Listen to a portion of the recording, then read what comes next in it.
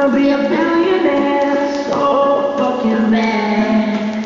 All the things I never had. I wanna be on the cover of smiling next to Oprah and the Queen.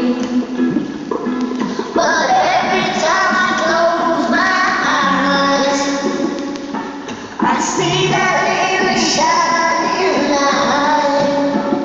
Yeah. A different city every night. Oh, I swear the world's never prepared for when I'm a billionaire.